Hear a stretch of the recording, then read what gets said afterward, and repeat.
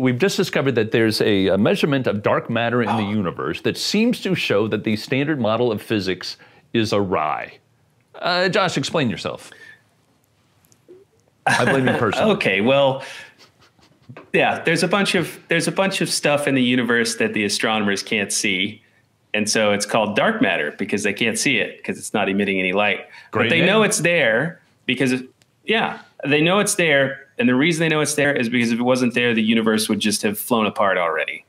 Uh, so it's got to be there with gravity, kind of keeping everything together. And uh, what this found out, um, what what this uh, uh, uh recent study uh, seems to suggest at the beginning is that um, something's wrong. Like they can't count enough of it, or they um, it, it, seems to be having a bigger effect than they can kind of account for. Uh, but I will say that this is also one of those things where uh, you're going to have to wait 10 years for the answer because right. Uh, this project is is only just beginning. They've only analyzed 10% of the data that they've collected. So, wow. Uh, you By know, my math, that's not even half. Uh, You're Josh, right. it, would, it, would seem that like um, I, I, think it's interesting to uh, to talk particularly to scientists about this because it seems like this is a conundrum that science faces because of its attention to detail and uh, getting the facts right. When something is wrong, it throws off a whole series of conclusions and extrapolations based on that one fact that uh, that doesn't seem to be the place it is. How do you deal with that as a scientist? How do you deal with that chaos within uh, these very uh, uh, highly studied systems? Well, people don't realize that science is a messy process, right? Hmm. I, I mean, you know, it's always three steps forward, two steps back. Um, and uh, uh, in fact, I've, I have some experience with this in my own career. Uh, many years ago, I helped write a paper that said the oceans were cooling, um, and it turned out to be totally wrong.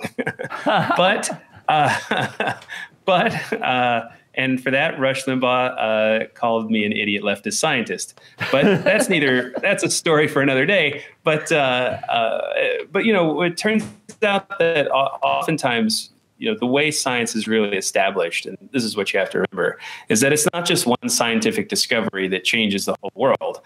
Um, something gets discovered and then people double check it and they go back and they look at the uh, weight of all the evidence and they do more experiments and and uh, try to poke holes in it.